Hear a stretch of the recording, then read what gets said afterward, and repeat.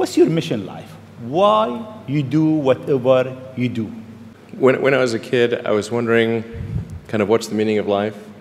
Like, why are we here? What's it all about? And, um, I came to the conclusion that uh, what, what really matters is trying to understand the right questions to ask. And th the more that we can increase the scope and scale of uh, human consciousness, the better we are able to ask these questions.